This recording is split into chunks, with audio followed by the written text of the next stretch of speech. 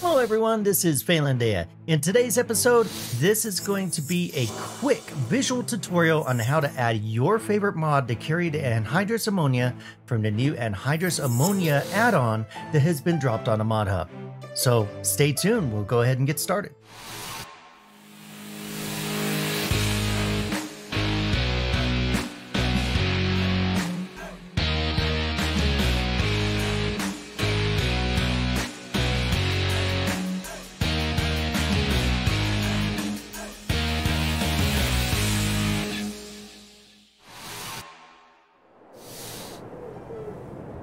Okay, so before we get started doing any edits, we find ourselves here on my farm here in Westbridge Hills, and I'm going to pop over here to my Case IH sprayer.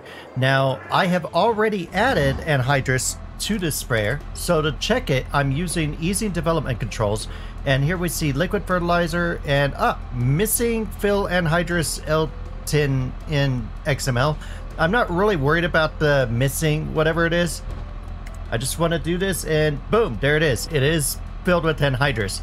That missing XML is because this vehicle doesn't have the code in the vehicle itself for the anhydrous, but the game recognizes the anhydrous. This thing is using anhydrous and we're good to go.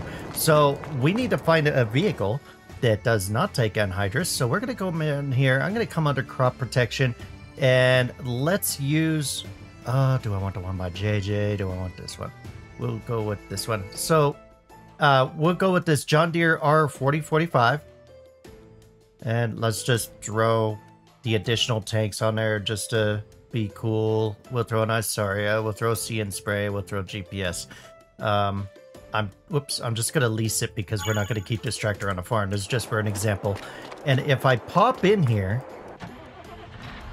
and I go to easy development controls, liquid fertilizer, herbicide. That's all I can put in this machine.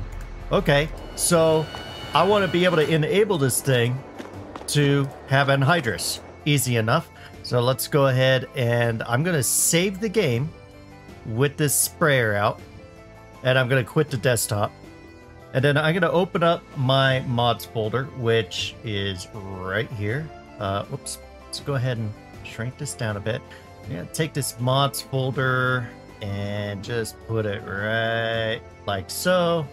And then I'm going to grab my, there it is. Okay, so we've got the vehicle referenced. All right, the next step is we need to grab our add-on. So we're going to come back here to the mod hub.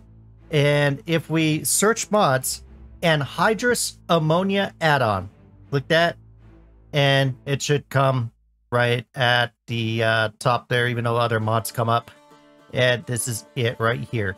I'm not going to read the description or explain the mod to you. You're watching this video because you already have the mod and you want to add the anhydrous to your thing. Because down here at the bottom, it says the anhydrous Lua file contains many base game sprayers injectors that can be enabled by simply uncommenting the appropriate lines.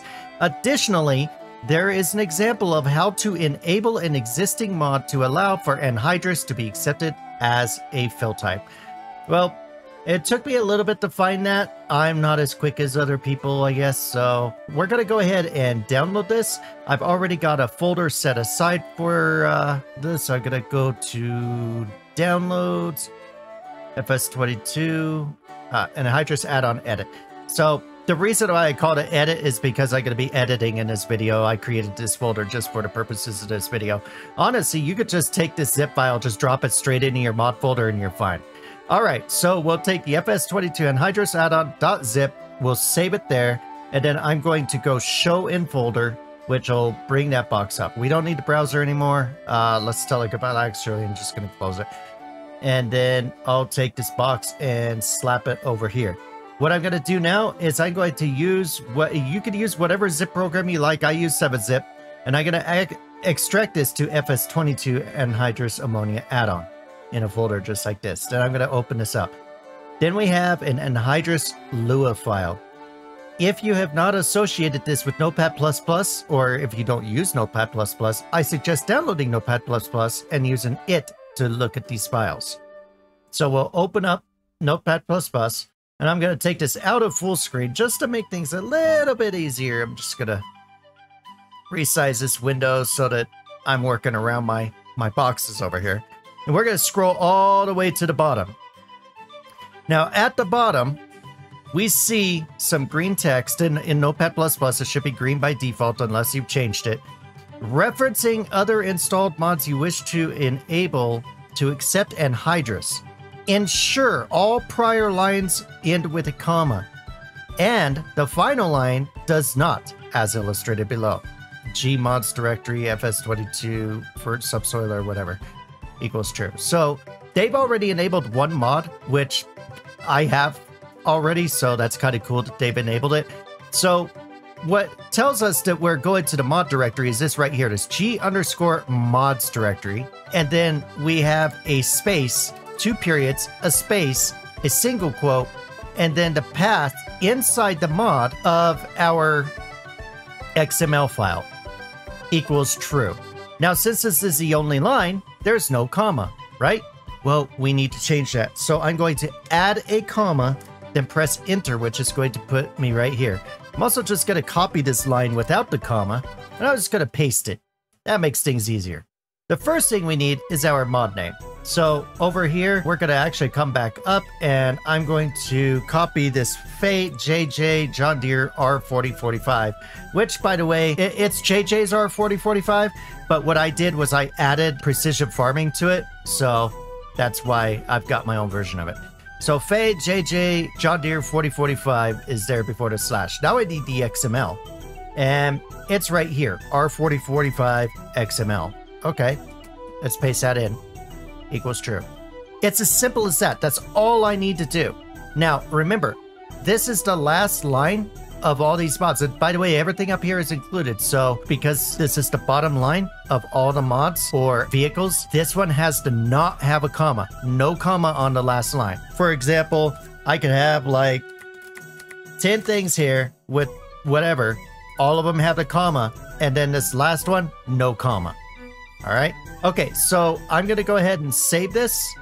And then we're going to close this. And then what I want to do is I want to take my edited anhydrous ammonia add-on folder. By the way, just so you guys know, you do not, you absolutely do not have to zip a mod for it to recognize in your mods folder. So here's my games mod folder right here.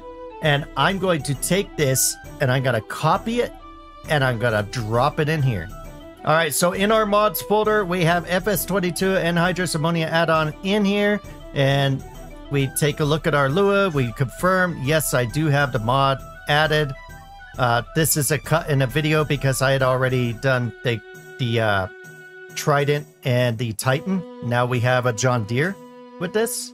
Let's go into game and see if our changes worked. Okay, so we're in the game. Let's hop in our sprayer. Go into easy development controls because it's the easiest way. And boom, there it is. Anhydrous ammonia is now in our sprayer.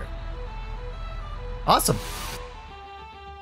It's as simple as that. All you got to do is just take your mod and copy it into the bottom of that file and you're good to go. So I hope you guys enjoyed this video. Hope you find it uh, useful. I know there's people out there that are visual learners and don't really get it just from reading text. So that's why I created this video to help you out. You guys take care and I'll see you in my next live stream.